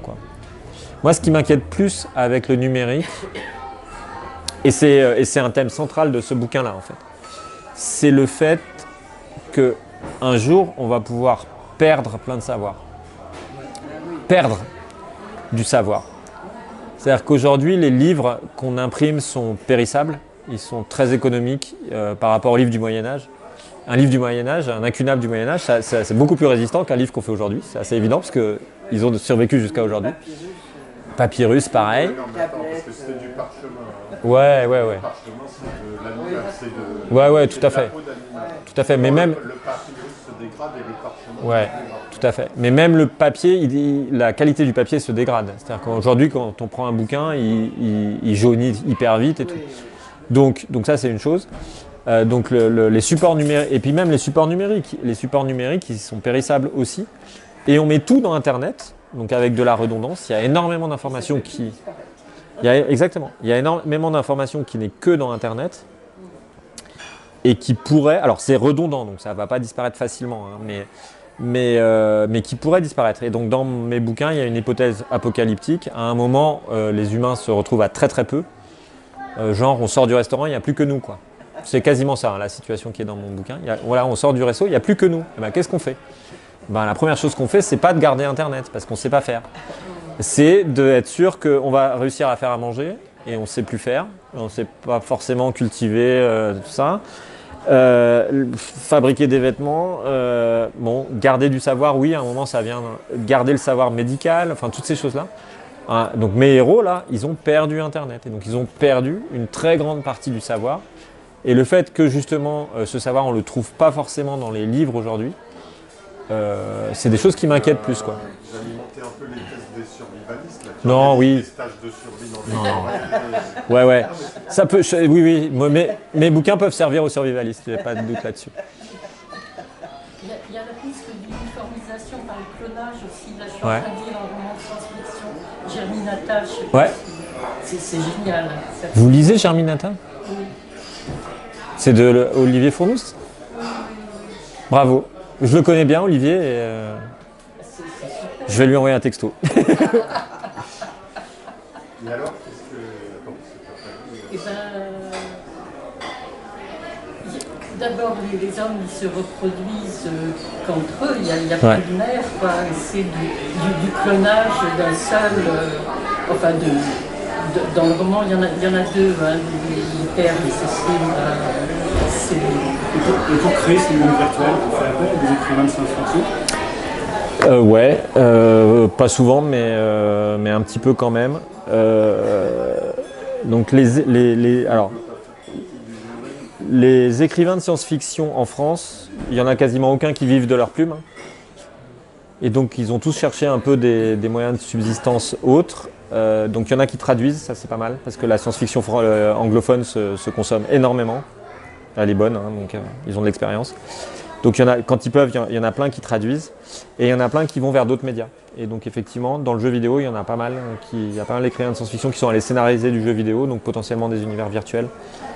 Euh, moi, je scénarise mon jeu vidéo et le fait que j'ai écrit, euh, ça me sert, ça me sert dans une certaine mesure, même si c'est des médias très différents. hein. C'est pas du tout pareil que d'é- d'écrire un bouquin et de scénariser un, jeu vidéo. Donc ouais, ouais, il y, y en a. Je sais pas si aux États-Unis c'est aussi vrai.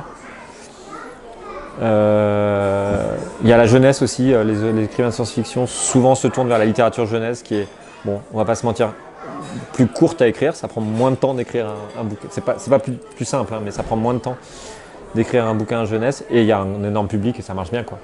Combien de temps Alors moi, comme je fais complètement 4 40 métiers à côté, euh, non mais je fais vraiment un autre métier à côté. le plus court, c'est Thinking Eternity. J'ai mis deux ans à l'écrire. Euh, c'est vraiment le plus court. Le premier, euh, je savais pas qu'il serait publié. Je le faisais à mes heures perdues. J'ai dû mettre 6 ou 7 ans. Et puis le Resilient Thinking aussi, ouais. Et non, non, ça prend vachement de temps. euh. La nouvelle, ça, c'est mieux. Alors, on fait un concours euh, des livres de nouvelles. Ouais. Mhm. Non, mais c'est un peu lourd. Ouais, c'est bien. Comment? C'est bien. Vous avez beaucoup de participants? L'année dernière, ça allait, oui, cette année un peu moins. Ouais. L'année dernière, C'est combien, à peu près 80, Ah ouais Et cette année, 20, 25. Ouais. Mais on a peut-être. euh, Mais c'est des nouvelles de quelques pages, c'est pas le... Oui, c'est ça, c'est des petites nouvelles courtes. Mais, euh, Le, le fait de déclarer que son bouquin c'est de la science-fiction, euh, c'est une grave erreur. Hein. Ouais. Il faut, faut mieux déclarer que c'est de l'anticipation Oui, alors- historique. euh. Alors moi je dis anticipation. Euh, euh, non, c'est pas une grave erreur. Je vais vous expliquer pourquoi.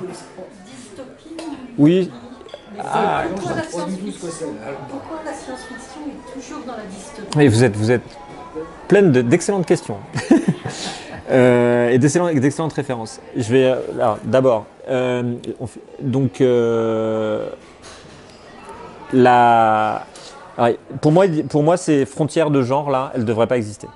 C'est-à-dire en France, c'est hyper marqué. Il y a la littérature blanche d'un côté, la littérature dite de l'imaginaire de l'autre côté. Et les, et ponts entre les deux sont assez infranchissables, en tout, cas en termes d'éditeurs.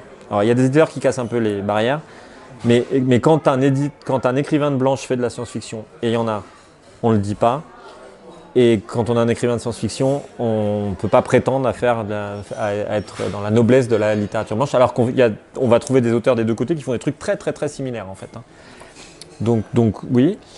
Après, euh, en termes de. Quand on est publié en tant qu'auteur de science-fiction, on a un lectorat français, hein, on a un lectorat minimal assez assuré, parce qu'il y a des fans qui lisent un peu tout. euh, et donc, Surtout des hommes. euh, alors, Ce que vous appelez littérature blanche, c'est surtout des femmes et ce que vous c'est de moins en moins vrai. C'est générationnel. Ah bah si, si, ah, si, si, si. Non, non, mais... euh, Mais c'est de moins en moins vrai. Alors, je- je- non, c'est vraiment de moins en moins vrai. Vous allez dans une, vous allez dans une convention de science-fiction aujourd'hui, je pense qu'on est à 50-50. ah bon, ça, parce que j'avais lu. Et, et de- de- parmi les, les- les jeunes, on va dire, je pense qu'on est vraiment à 50-50. Et je, je me demande même s'il n'y a pas plus de femmes maintenant. En- après, ça dépend un peu quoi dans la science-fiction aussi, tu vois. Mais euh, non, non, ça, ça c'est vraiment, euh, ça c'est vraiment. À une époque, c'était très vrai. hein. La science-fiction était un truc de, garçons en école d'ingénieur, en gros. Euh, donc les écoles d'ingénieurs étaient très masculines. C'est encore vrai ça. Beaucoup trop. Et, et c'était des scientifiques qui lisaient de la science-fiction. Et donc les scientifiques étaient plutôt des hommes. Et il y a eu un vrai, un vrai, un vrai mélange. Et j'ai vu ça aussi dans le jeu de rôle, en fait, c'est pareil. Où à un moment, il y a vraiment eu beaucoup de jeunes femmes littéraires qui se sont intéressées à ça et qui, ont, et qui, ont, et, et qui ont vraiment, qui en ont produit aussi. hein. Il y a des autrices, euh, il y en a moins que d'auteurs, euh, ça reste vrai. Mais il y en a pas mal des autrices. Et des lectrices, il y en a plein. hein. Le Harry Potter a changé ça. hein. Harry Potter, ça va. Harry Potter, ça va dans la bonne direction. La beat tout ce qu'on appelle la beat les trucs de vampires aussi. Il y a beaucoup de femmes euh, qui, euh, qui, qui lisent. ouais. Et donc, deuxième question, c'était dystopie, utopie. Alors, oui, alors, bah, on m'a très souvent posé cette question parce que les deux premiers, ces deux-là, là, ils sont super dystopiques. Je vous ai dit, j'ai eu une apocalypse. euh, J'ai été dans des tables rondes où on m'accusait d'avoir le record, le record du nombre de morts dans mes bouquins. Donc ça fait réfléchir. Ça fait réfléchir quand on vous demande ça. Mon apocalypse, elle est très très violente. Euh, et alors, pourquoi la dystopie? Bah, Il y a deux choses, je pense. Il y a d'abord, on vit dans un monde négatif. C'est-à-dire qu'on vit dans un monde dans lequel les médias euh, nous renvoient essentiellement des mauvaises nouvelles. Euh, même quand ça va plutôt bien en fait. Alors en ce moment c'est pas terrible, hein. mais il y a quand même, on a quand même eu des périodes dans lesquelles le, le- le- le monde allait quand même plutôt bien. En tout cas le monde occidental, enfin nous. ouais. Et, même dans ces périodes-là, on, dramatise tout quoi. Et, euh, et- on ne s'intéresse qu'aux mauvaises nouvelles. Alors est-ce que c'est de notre faute ou de la faute des médias? Je pense que c'est un truc qui se, c'est un cercle vicieux en fait. Plus on nous en donne, plus on en veut, et, donc c'est terrible. Donc on vit dans ce monde-là anxiogène en fait et très dystopique. Et donc quand on, quand on se met à écrire un bouquin de science-fiction, ben, on fait comme tout le monde quoi. Parce qu'en plus les lecteurs ils aiment ça. Et donc on commence par écrire des choses assez négatives, ça c'est sûr. Après c'est plus facile d'écrire des trucs négatifs. hein. Les trucs négatifs c'est des, rebondissements, c'est des ressorts, euh, c'est de l'action. euh, et donc c'est plus facile. Donc il y a- ces deux choses-là. Euh, à la fois c'est plus facile et à la fois on a l'impression c'est ce que les gens veulent.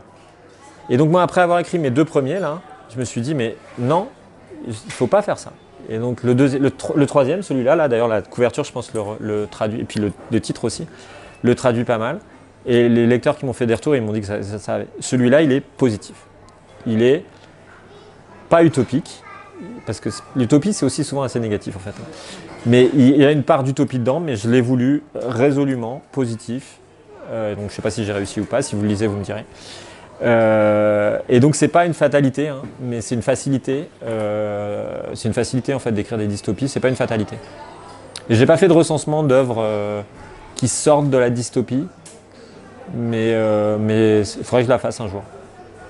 Alors après, je vous cache pas qu'après avoir écrit deux bouquins dystopiques où l'hypothèse post-apocalyptique est très forte, et celui-là donc qui se passe après l'apocalypse, je pars de tellement bas qu'être positif c'est pas trop trop difficile.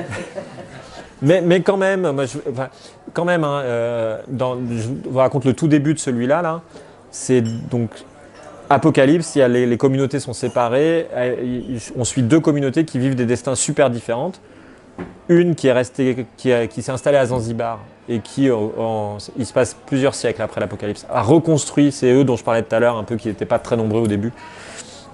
Ils ont tout reconstruit, donc ils vivent dans un monde où la technologie a quand même vachement disparu, euh, presque moyenâgeux euh, et, tout ça. Donc ils ont reconstruit, ça a été dur, euh, donc ils sont centrés sur les fondamentaux. Et l'autre côté, un, un vaisseau spatial qui était censé être autonome et qui a marché, donc qui était autonome, dans lequel il y avait une toute petite communauté qui ne pouvait pas grossir, parce que ressources limitées, euh, qui n'avaient pas de problème de survie parce qu'ils étaient administrés par une intelligence artificielle. Donc eux, ils, ils ont, ils sont rentrés dans un, mode plus... bah, on est les derniers survivants de l'humanité, on se balade dans le système solaire, il n'y a rien à faire. Donc eux, ils vont dans des mondes virtuels se divertir et tout ça.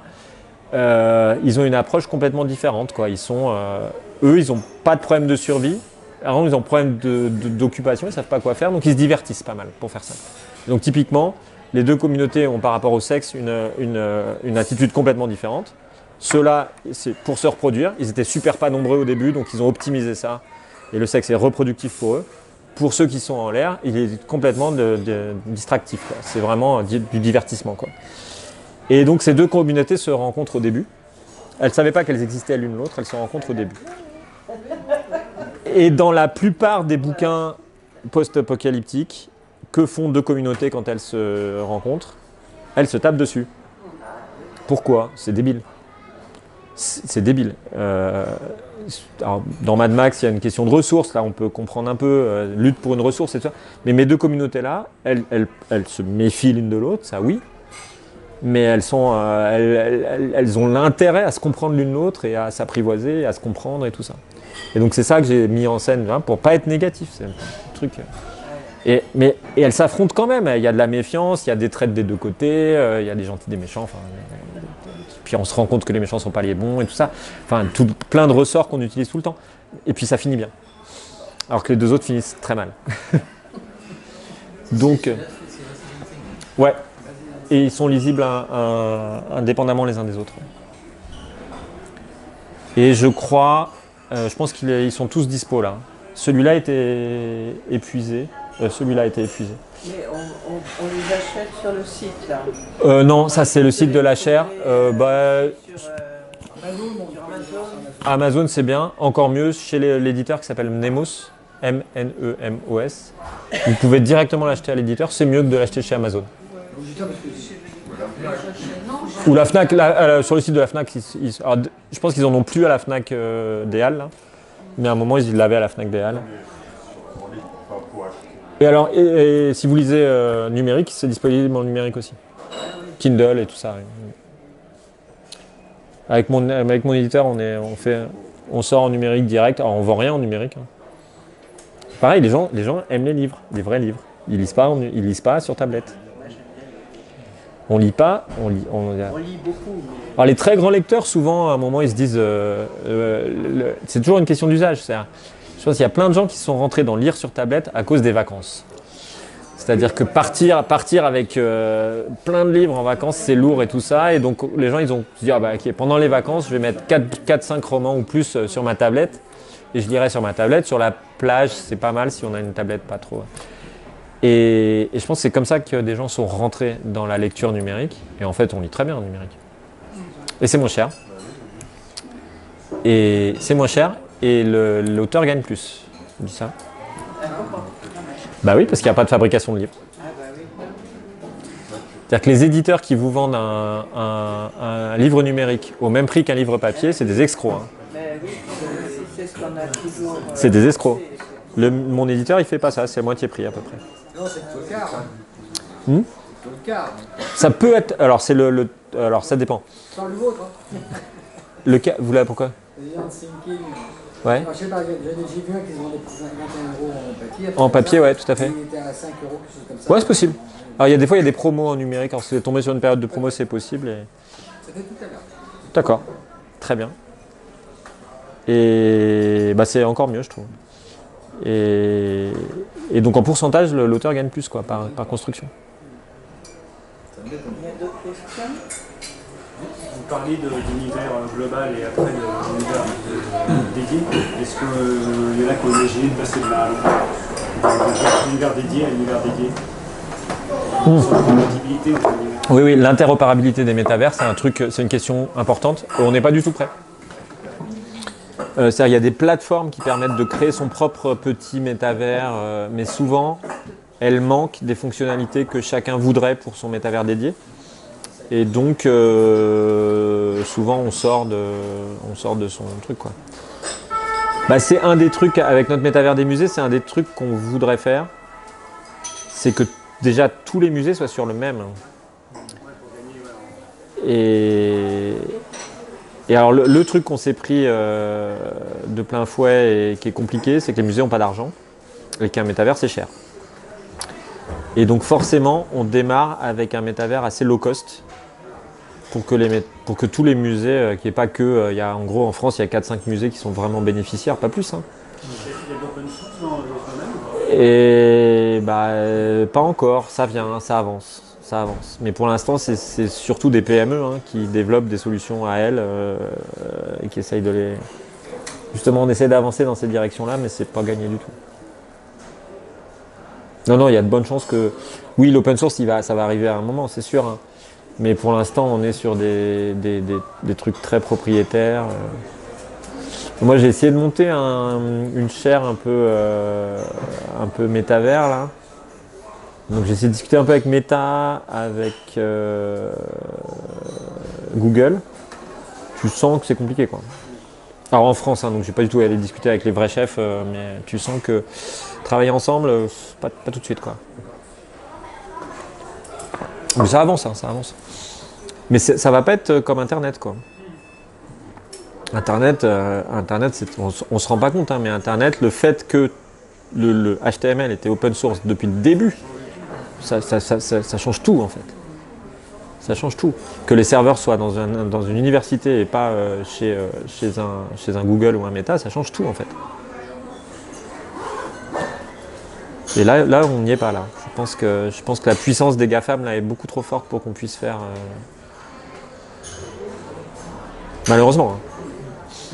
Euh, moi j'ai une question. Qu'est-ce que, enfin, si vous êtes au courant, qu'est-ce que vous pensez de l'initiative du ministère des Armées de développer des scénarios de.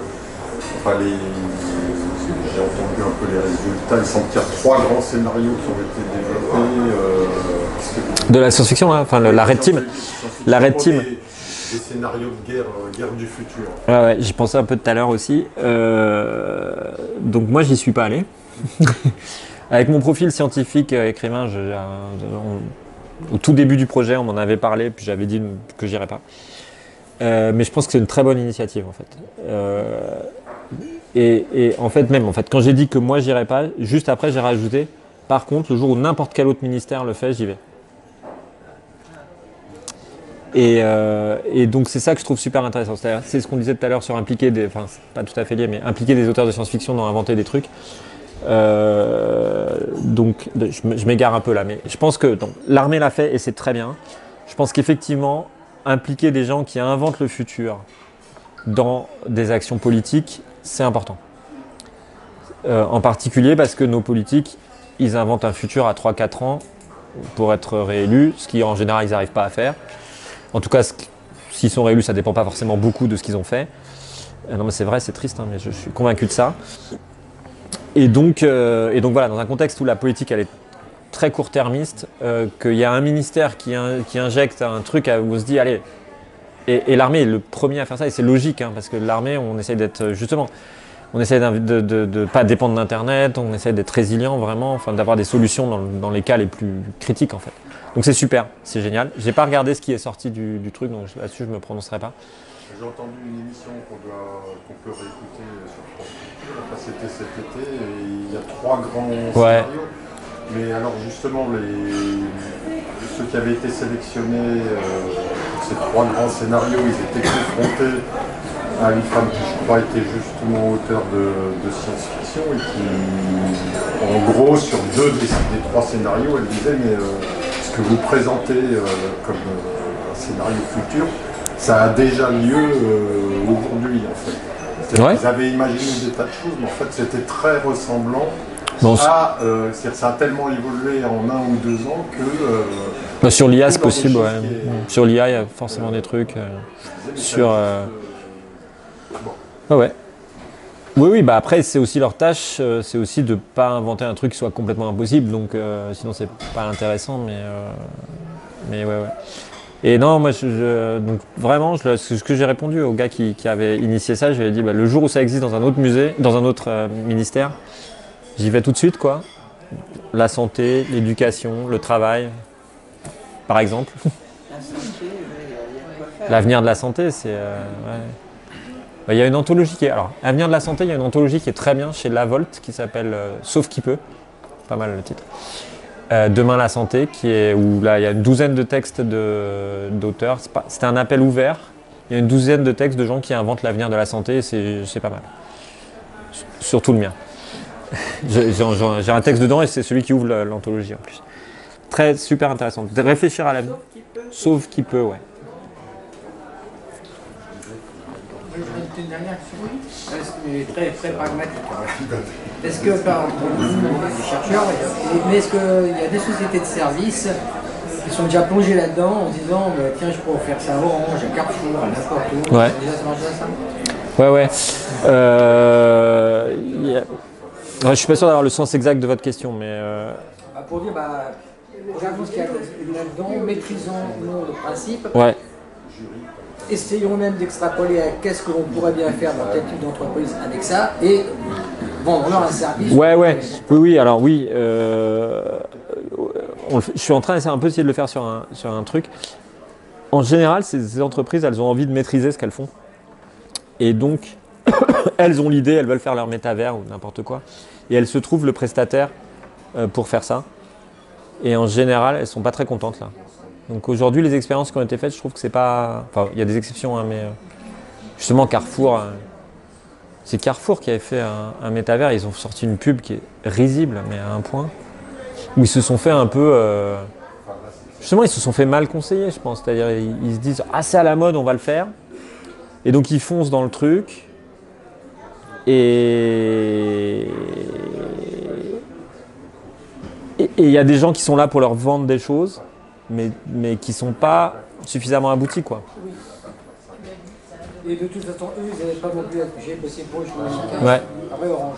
Et ils n'avaient pas la technicité pour euh, juger de ce qui serait bon. et. Ouais. Et puis en fait, bon, Carrefour, c'est un ramassis d'agglomérat, de petites boîtes. Mais c'est ça.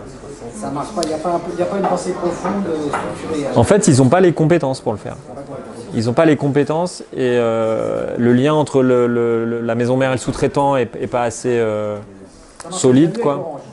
Oui, mais à Orange, ils ont un. Orange, ils ont un. Alors justement, euh, Manzala avec qui je bosse, il bosse pour Orange. Orange, ils ont l'habitude de fournir du contenu euh, numérique à des utilisateurs depuis euh, hyper longtemps en fait. Et eux, ils ont embauché. Ils ont embauché des gens. euh, je connais plusieurs personnes qui ont bossé chez Orange, qui venaient de chez Ubisoft, qui, qui, qui, qui, qui savaient faire ces trucs-là, quoi, vraiment. Paquet. Ouais, ouais, ouais, ouais, tout à fait. Orange, Fr- France TV aussi, enfin les, les, les, les, ent- les- les entreprises qui, fournissent du contenu euh, euh, à des spectateurs, on va dire, euh, ont une approche du métavers assez réfléchie en fait. Enfin, de ces questions-là assez réfléchie. Et depuis longtemps. Ils débarquent pas parce que Zuckerberg leur... C'est ça aussi, c'est qu'il il- y a eu ça, hein, l'effet Zuckerberg où tout le monde s'est engouffré dans cette branche-là.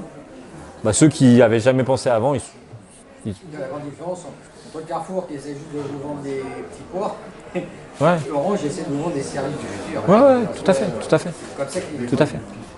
Et ils ont de l'expérience, c'est-à-dire qu'ils ont déjà des expériences en réalité virtuelle avant que, que- qu'il y ait eu la hype là de. Ouais. Oui. Moi, je, on peut continuer à discuter autour d'un verre, c'est ça vous remercie. Merci à vous.